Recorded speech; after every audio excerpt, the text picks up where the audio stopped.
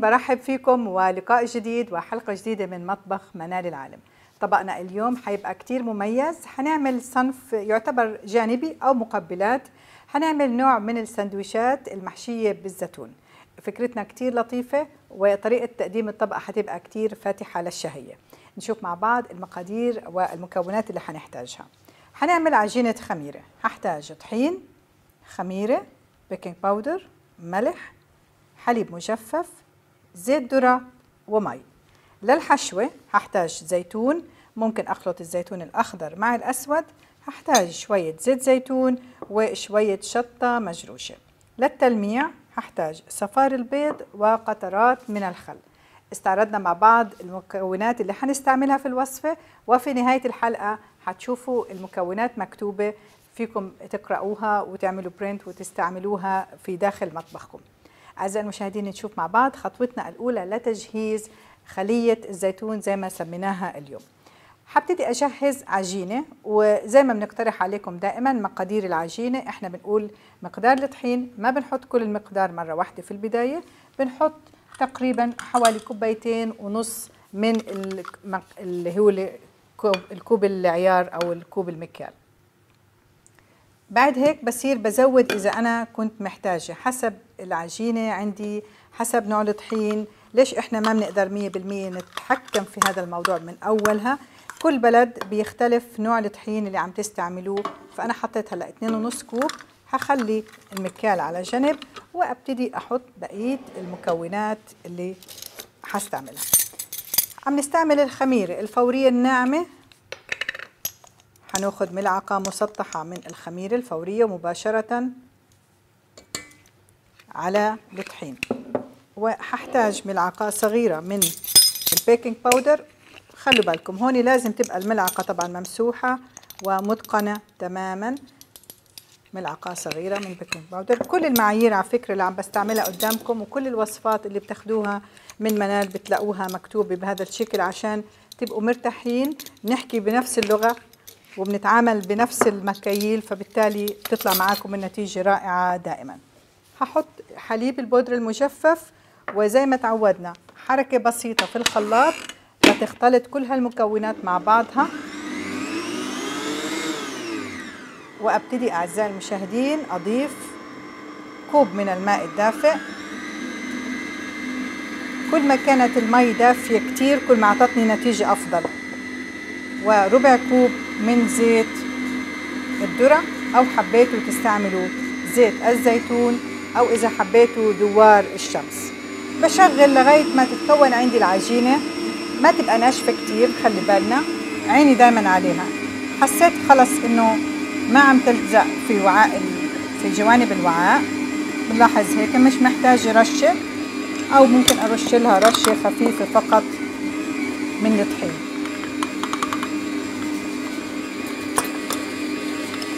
بستمر بالتشغيل على سرعة بطيئة خالص. خلوا بالكم أعزائي المشاهدين العجينة بدها سرعة بطيئة وإحنا بنحط مضرب العجين لغاية ما تتكون عنا العجينة.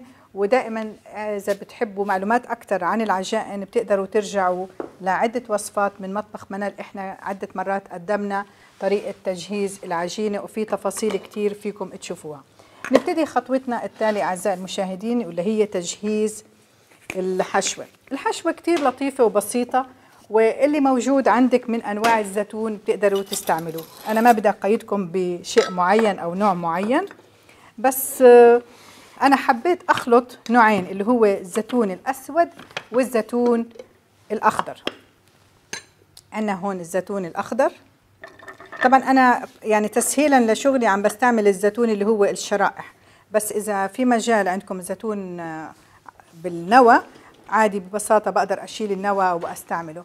إذا في مجال تستعملوا الشرائح برضو بتسهلوا عليكم الأمور. يبقى حنحط كمية الزيتون.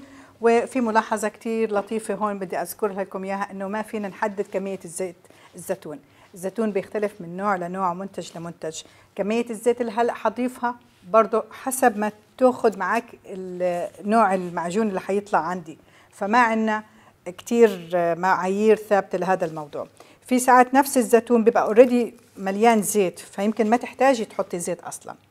هحط هلأ الشطة المجروشة ححط شوية زيت زيتون وأبتدي أشغل هال محضرة الطعام لغاية ما يصير عندي الخليط معجون ناعم.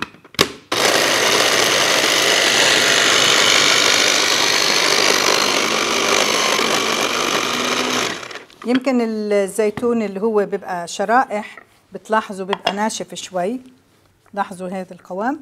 يعني يعتبر هلا هذا ناشف شوي. أنا بدي يبقى شوي يعني عجينته تبقى أكتر.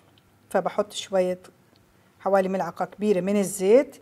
وبنرجع بنكرر أعزائي المشاهدين كمية الزيت بتحطوها حسب الحاجة. برجع بشغل و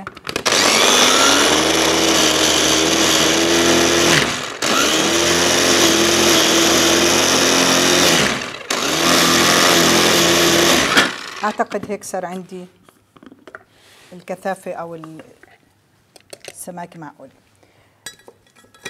نلاحظ كيف القوام صار هيك شوي متجانس أكثر حخليه على جنب ما حستعمله هلأ. ونشوف خطوتنا التالية.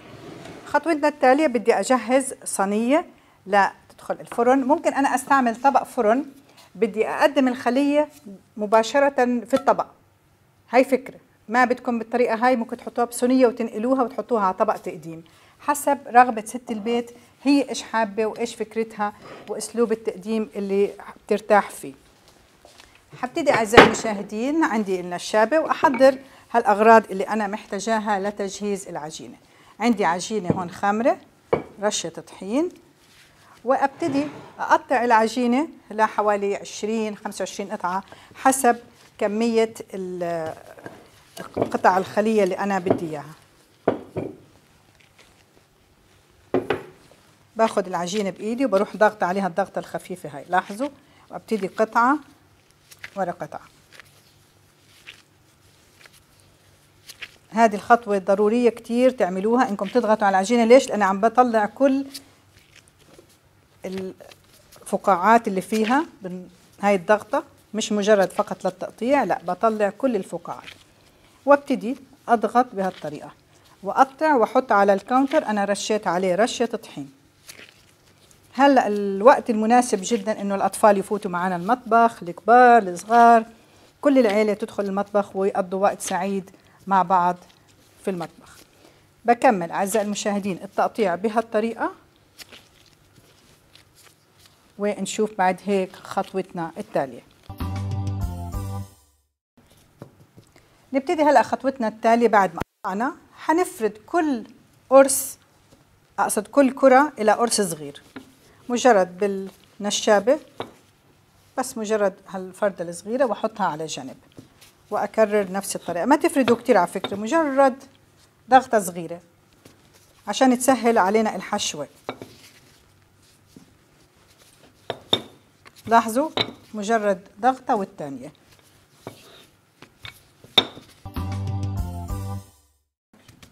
بعد ما خلصنا فرد هالأقراص نبتدي نوزع الحشوة. مجرد معلقة صغيرة في كل قرص بهالطريقة. هيك بيبقى سهل علينا الشغل. نفرد مرة واحدة نوزع مرة واحدة نشكل مرة واحدة. بيبقى كتير مريح شغلنا بهالأسلوب هذا. نبتدي نقفل القرص بهالطريقة. طبعا أتأكد تماما أنه الحشوة كلها في الداخل بهالشكل. وأحطه في الصينية. ناخذ قطعة تانية كمان نتأكد إنه الحشوة مقفولة كويس. الموضوع كتير بسيط وسهل. زي ما أنتم شايفين عم بشتغل معاكم خطوة خطوة لتشوفوا كيف بدنا نعمل خلية الزيتون. إحنا بنسميها خلية طبعا عشان عاملة لوك النحل. ونكمل هالخطوات. وبسيبها لا تخمر ويتضاعف الحجم. وبنشوف هلأ طريقة توزيع خليط التلميع. خليط التلميع عبارة عن صفار البيض أضفت له قطرات من الخل. والعجينة عندي خامرة ومرتاحة. نشيل الغطا ونبتدي نمسح طبقة خفيفة من خليط التلميع بهالشكل هذا. طبعا عندنا إضافة كتير لطيفة إذا حبيتوها عشان لما نحط هالخلية هيك على السفرة يكون معروف هل هي طبق مالح طبق حلو فحبينا نزينها بقطعة أو شريحة من الزيتون بحطها بالطريقة هاي. يبقى أعزائي المشاهدين العجينة جاهزة تدخل الفرن على درجة حرارة 180 بنتركها لحوالي 20 دقيقة أو لتأخذ اللون هيك الزهري أو الأشقر. أقصد وتطلعوها طبعا وتستمتعوا بطعمها. زي ما قلنا لكافة الأوقات. خلية الزيتون هذه كتير لذيذة وطيبة.